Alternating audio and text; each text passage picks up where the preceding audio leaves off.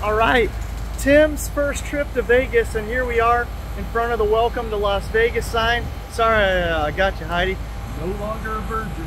No longer a Nope, Vegas virgin, Vegas Tim virgin. here. Yep, first day here. Not the best weather, but we're gonna have some fun, do some stuff, and we're gonna do a lot of videos on what to do in Vegas. They'll all be shorts. Check us out. Keep checking back. You'll see those videos. Viva Las Vegas! Tim, kind of looks like Elvis right there.